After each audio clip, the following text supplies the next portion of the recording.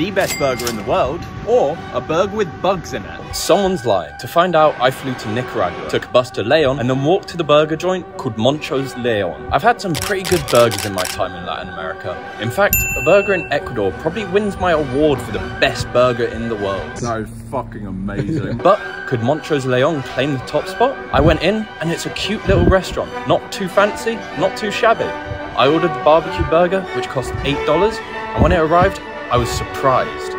It had bacon, onion, but they'd forgotten to add the bugs. So, Tamir's a lying bitch. But was the burger the best in the world? The burger was juicy and tasted really nice. But no, it was not.